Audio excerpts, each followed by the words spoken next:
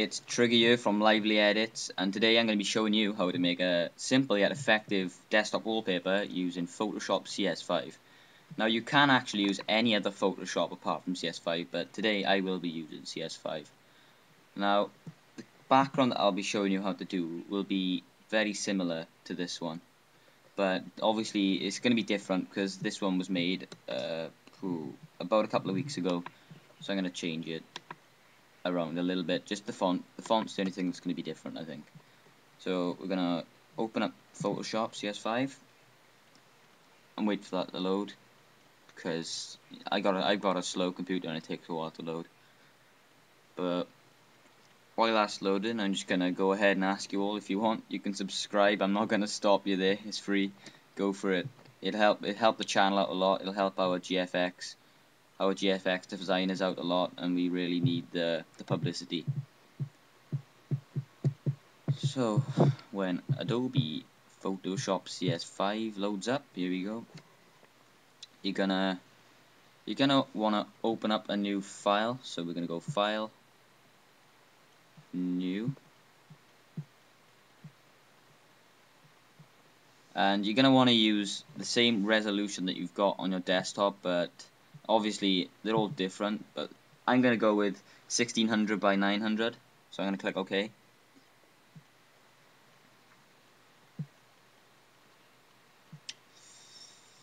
I'm just going to click fit on screen to make it a bigger size. And I'm going to first, what we're going to do is we're going to go into open. And what you're going to need for this is you're going to need a cup, you're going to need two different different backgrounds, like wallpapers. You can you can have the same one if you want, but for me, I like to use different ones. So we're gonna go into my folder here, Lively Edits called, and pick out a background. I'm gonna use this colorful abstract, which I got off Google Images. It's not hard to find. And when that's loaded up, like I said, my my uh, laptop's very slow. It's an Acer. What do you expect? So we're gonna drag it onto our canvas here. And then get rid of that. And we're going to hold Control T. And then we're going to resize this by holding Shift and dragging it. And then enter. And I'm going to just, just drag it so it's centered. That looks okay. So now what we're going to do is we're going to double click our layer or either that or click blending options then we're going to click on color overlay, make sure that's highlighted. And then whatever color you want, I'm going to go with a lightish blue, a sky blue. Alright. And then you got to go to blend mode, color, so we get this changed color effect. Okay. And now we're going to jump straight into adding some text. Uh, I'm going to use a new font that I've just uh, collected called Star Avenue. It's available on defonts.com, D-E-O, no sorry, D-E-F-O-N-T-S.com. They do thousands of different fonts for free. They're easy to download and take seconds. Uh, this one's called Star Avenue. And I'm just going to type in my Xbox Live gamer tag. Triqa. Yes, I'm aware it's spelled with a Q, but it was the only one available. So what we're going to do is Control T Again, shift and drag to make this size a bit bigger. That'll do. And what you need to do to center it, as a lot of you will be wondering, we got to click this, our rectangle marquee tool. And we drag it the whole length of our picture. And then we click our select tool. Then the middle button here, as you can see. And then this middle button here and then it directly gets centered in the middle of our canvas okay? So we go select deselect to get rid of this outline we got here and now we're gonna edit our text because it looks a bit boring at the moment and we don't want that because that's that's that's a crap background if I'm honest. So we're gonna go into blending options on our text. And we're going to change the color by clicking color overlay and going into whatever color you want. Again, I'm going to have a skyish blue, but maybe a bit darker this time. That'll do. Okay, blend mode screen or color. Blend mode color. Okay. and as you can see nothing's changed but it will as soon as we do this we're going to go into open we're going to get the same image or a different image I'm just going to go with the same one because it's, it's my favorite so To wait for this to load now same thing again we're just to drag it uh, here we go oh, wish I had a faster laptop I'm gonna have to get a gaming laptop soon. Control, Shift, and drag. Okay. Actually, what we're gonna do is make it the same, roughly the same size as our text, so we can fit the whole image in.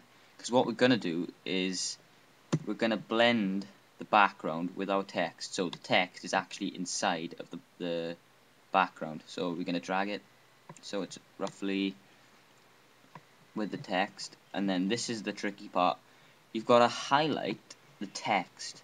And then we a lot of people get this wrong. They do it the other way around. You've got to make sure the text is under the layer we just put on the screen. So you're going to highlight your text, control, and then click Alt hold that and click in the middle of those two layers and we'll get this effect. Okay, as you can see, the background is merged with the text. And if you're not happy with the way it looks, all you've got to do is go to the blending options of that, the uh, the background. But bear with me, I'm going to remove the color overlay of my text. You could just avoid this the first time round, but never mind, just leave it. So as you can see, this is how it should look. So if you want to change the color, you just do the same thing I just did with the color overlay and then do whatever color you want. I'm gonna go with this blue and then blend mode color because this looks best and as you can see that's pr that's pretty good it doesn't look too bad I like it. Now go back into your text. You don't have to do this, but I choose to do it this way by adding a stroke because it looks better with a stroke. A lot of you might agree. So let's have a stroke, okay? And now what we're going to do is add a reflection to this by we're going to merge first of all we're going to merge these two layers so hit the top layer and then shift and click the other layer and then right click and click merge layers so they become one. And now what we're going to do is copy this layer by clicking duplicate layer and then we've got a copy. So all you do then is control T and then bring it down, bring down the duplicate of that layer so it's directly underneath. This may take a while.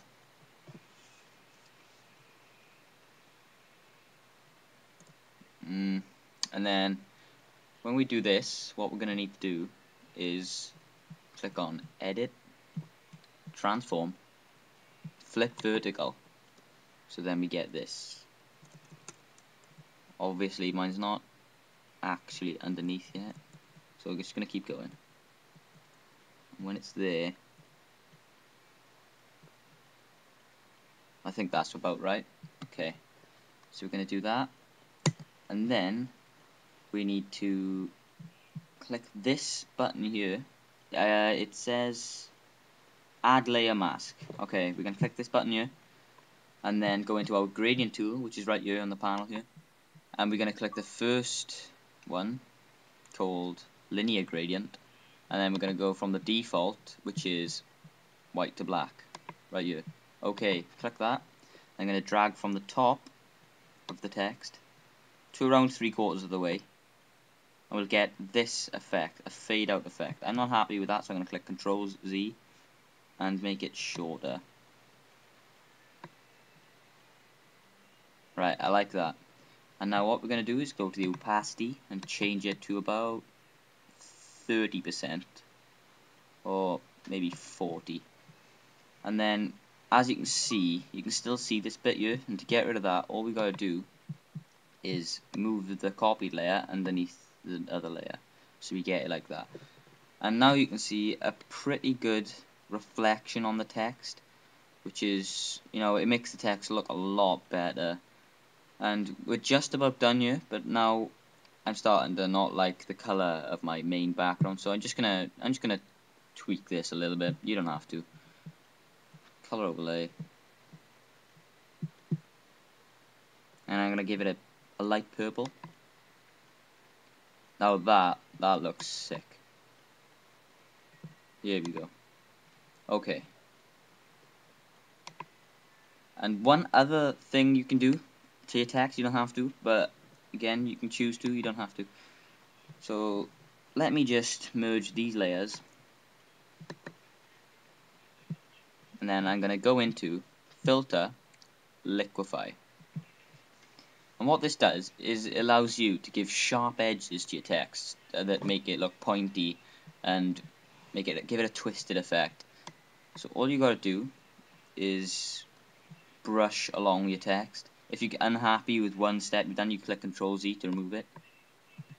But you can take your time with this. Obviously, I'm just gonna I'm just gonna rush through it and do a crappy one. Something like that one.